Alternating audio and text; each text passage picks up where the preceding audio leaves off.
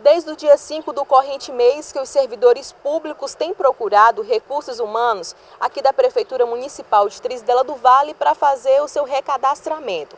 Ao chegar aqui, é feita a checagem dos documentos necessários, em seguida, dá continuidade ao processo.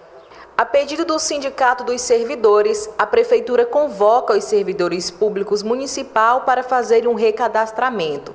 A intenção deste processo, segundo a chefe do Departamento dos Recursos Humanos, é a legalização e atualização. Tem gente por exemplo, casou, mudou de nome, então a gente está fazendo essa atualização de cadastro. Gente que já concluiu após, é, que tem um benefício, a gratificação a mais, a gente também está é, avaliando isso e colocando né, à disposição é, de alguns erros que tiveram do, né, né, do ano anterior e a gente está passando a corrigir.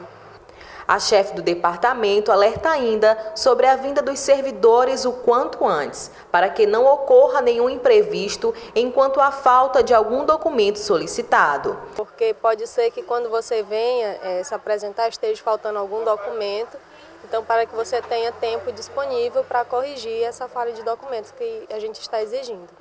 Verônica Sarturnino diz que procurou o departamento o quanto antes, justamente para evitar qualquer problema.